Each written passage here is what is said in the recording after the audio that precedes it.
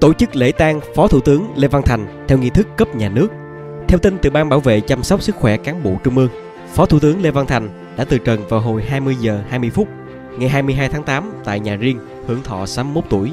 Theo quy định tại Nghị định 105 năm 2012, khi Phó Thủ tướng Chính phủ nước Cộng hòa xã hội chủ nghĩa Việt Nam từ trần sẽ được tổ chức lễ tang cấp nhà nước. Lễ viếng từ 9 giờ ngày 24 tháng 8 đến 7 giờ ngày 26 tháng 8 tại Hải Phòng. Sau đó an táng tại nghĩa trang quê nhà.